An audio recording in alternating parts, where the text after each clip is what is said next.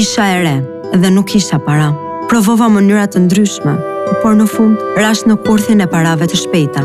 U ndjeva e dëshiruar, derisa kuptova që isha duke u shfrytëzuar. Tani çdo derë që trokas mbyllet, përfshirë edhe ajo më e rëndësishme, dera e familjes sime.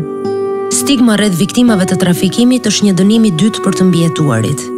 Është e rëndësishme të dihet ku dhe si të kërkohet ndihmë. Mund ta ndalësh, mund t'ia dalësh.